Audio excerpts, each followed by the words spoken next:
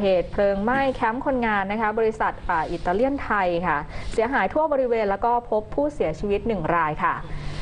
เมื่อช่วงค่ำที่ผ่านมานะคะเกิดเหตุเพลิงไหม้แคมป์พักคนงานของบริษัทอิตาเลียนไทย ภายในซอยประชาอุทิศ 8 ค่ะย่านดอนเมือง เจ้าหน้าที่ได้อ่าระดมรถน้ำ 5 คันนะคะเร่งเข้าควบคุมเพลิงค่ะ ตรวจสอบที่เกิดเหตุแคมป์ดังกล่าวก็มีเนื้อที่ประมาณ 5 ไร่นะคะที่พักเป็นบ้านไม้ 2 ชั้น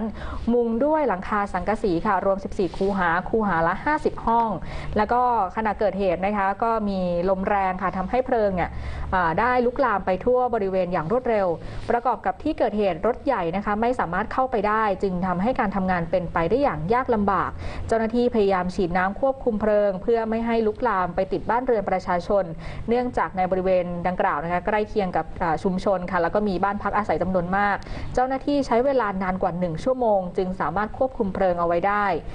ตรวจสอบนะคะก็พบว่ามีผู้เสียชีวิตเป็นชายหนึ่งรายค่ะทราบชื่อคือนาย พนมพรจันอักษรนะคะโดยพบร่างในสภาพไฟไม่เกรียมอยู่ในซากปรักหักพัง เบื้องต้นทราบว่าก่อนเกิดเหตุค่ะผู้ตายได้ดื่มสุรากับเพื่อนจนเมา ก่อนแยกไปนอน แล้วก็ถูกไฟคลอกจนเสียชีวิต ทั้งนี้ยังพบรถรถยนต์นะคะ ได้รับความเสียหาย 5 คัน แล้วก็มีผู้บาดเจ็บเล็กน้อยอีกหลายราย เจ้าหน้าที่เตรียมสอบสวนหาสาเหตุ เพื่อดำเนินคดีกับผู้ที่เกี่ยวข้องต่อไปค่ะ